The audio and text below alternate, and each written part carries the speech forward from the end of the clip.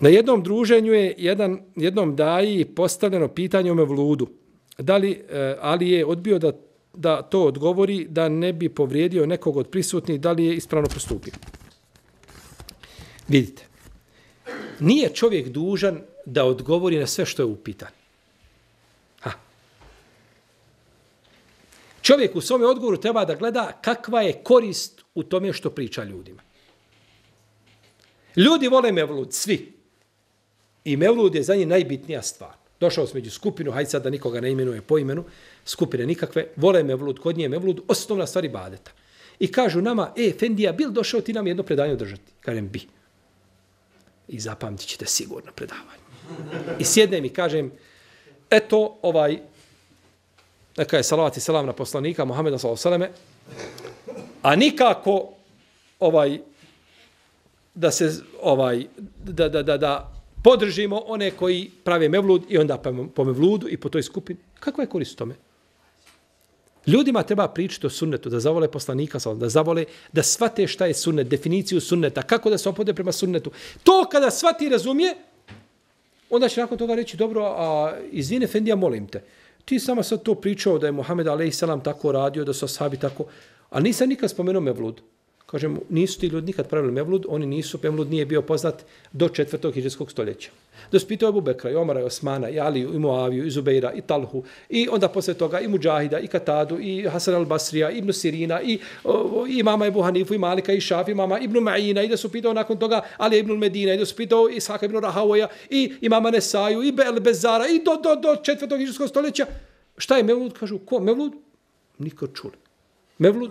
Sa, generacije nikad čuli. I u četvrtom se hiđarskom stoljeću rodi taj veliki ibadet koji se zove Mevlud. E, tako je Mevlud nastao.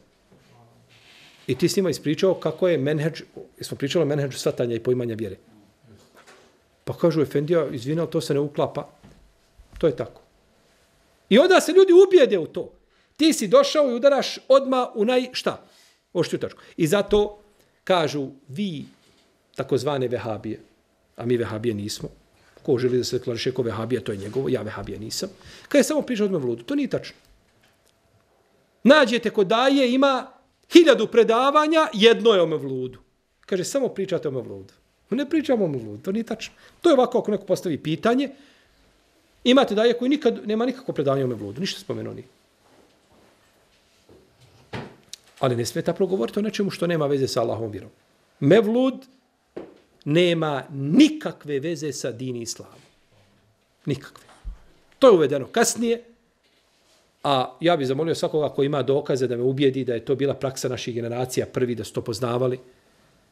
Ovaj, Boga mi, nećemo se libiti da odmah pris, da pravimo mevlod.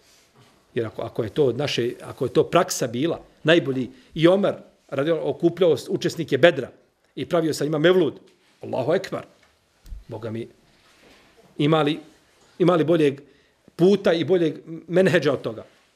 Ali ako nema o tome ništa, tako da čovjek ponekad odgovara, ha, vidi da tu može biti, da taj odgovor može napraviti bela i problem, a neće promijeniti nešto tek tako. I imate ljudi koji ne, ja moram reći istinu. Ne, ja moram reći ljudima istinu koji su spremni da prihvate tu istinu da da razumiju da je shvate. A ne govoriti ljudima istinu koji će od toga napraviti šta? Belaj. I problem. Jel može čovjek oženiti svoju amidžišnu? Bez razilaženja među lemom.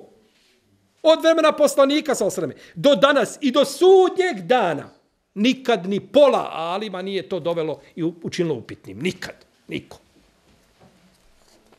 I ti sad doješ i dolete u džami i kažu, e, Efendija, molim te, ovaj, ima jedna sad sekta, kažu da se da može se oženiti Amidžićna. Može li to Efendija? Ti kažeš ima, može. Hak je hak i moraš ga znati. Ali kažeš mu, odma hajte mi prvo iskopajte iza džamije vamo kabur, pa ću ja onda vama dati odgovor, jer znam šta me čeka, na biću kamenoman. Njihovi razumi to ne mogu šta? Dok ušti, jer je kod nas Amidžišna kao sestra. To ljudi tako gledaju. Pa je propis jedno, Pa ti ako želiš, ako već moraš da odgovoriš kazi, eto, nama je islam došao preko Turaka, to tur, Turci uveliko rade, kod nas to nije praksa, ovaj, e, Dunjaluk je pun žena, što čovjek mora, ovaj, mo, ne moraš nužno ti njemu dati odgovor da kažeš to je tako, ha, jer to nije propis da moraš. A ako ćeš svojim odgovorom napraviti veći belaj, onda trebaš pripremiti te ljude da im šta. Nisam rekao da neko ne svati, e sad treba sakriti istinu. Ne sakriti istinu, ali te ljude moraš pripremiti da mu kažeš šta. Da mu kažeš istinu. Nije on spreman da prihvati sve što je u tvojoj glavi. Ti si razumio i shvatio i pojmo. Nije spreman da prihvati sve to tako bola. Pa čovjek treba znači gledati da to bude šta? Postepeno da ljudi mogu shvati, ne, znači opet podlačimo, ne prikrivati istinu. Ali ako je čovjek procijenio, vidio da bi tu mogao napraviti problem, takav odgovor, ha. Efendija, smije li se dizati ruke u namazu? I ti vidiš, ha, sjede ljudi na oštrani, svi gledaju te, ti kažeš ima, slušajte, namaz je ispravan bez dizanja ruku u namazu. Dizanje ruku u namazu, ima jedan dio učenjaka koji su to dozvoli, kod nas se po našem mezobu ne dižu ruku u namazu, namaz je ispravan bez dizanja ruku, Moraš nužno reći. To je tako. I, i ovaj opisati nakon toga još preći granicu pa kazati to kako vi radite nije sunnet i slično tome. Ne, to je fiksko pitanje koga se ulema razilazi, ali čovjek kada odgovara ljudima mora znači imati, imati na umu kome odgovara i šta taj čovjek može podnijeti od tog odgovora. Stavi mu na leđa, ali nemoj mu slomiti leđa. Recimo, možeš ozveniti Amidžišna, kažete, vallahi, ja tu, jadan billahi ta'ala. Čete reći, ja tu, ja tu, ja, Ne, nije, nego htio sam reći nešto, ali mogu to kazati nikako. Ima ljudi koji kaže uh, halifa uh, ili poslanik kome je halifa Ebu Bekr, kaže Bog koji je zadovoljan da poslije poslanika bude halifa Ebu Bekr, kaže to nije moj Bog. Imate ljudi koji opsuje tu vjeru koju ti zastupaš. Jer si mu dao, si mu, nisi mu dao na kaškicu. Stavio si mu onaj veliki šlauf u usta i otvorio mu I onda ga zagušilo ga. Ne može on to. Daj mu ono što može podnijeti kako može podnijeti. To je fik, znači, u dostavljanju, iako će to neko smatra da je to ovaj, tako, uh, upakivanje, umotavanje, nije to ni upakivanje, ni umotavanje, nego je to znači ovaj uh, uh, fik u dostavljanju ljudima. Daješ mu koliko može, znači, šta? Podnijeti, svati, razumiti njegov razum. A ako želiš, onda ti skrenuo sa ljudima, ti si vodič ideš na hađ, vodiš ljude. E ti u cipelama stali svi na parkiraš da klanjamo i svi se ljudi izuvaju. I klanjaju, i ti u cipelama stao kada je poravnajte. Kažu, vide, Fendije, sirovine u, u cipelama klanja. Mi izuli se, on klanja cipelamu pune prljavštine na džaseta, ljudi na prljavo i nečisto. I mi klanjamo iza njega. Kaže, ali je sunnet da se klanja. Ima 15 hadisa koji govore o namazu u papučama. Jeste živio, ima 15 hadisa. A nije to put i način.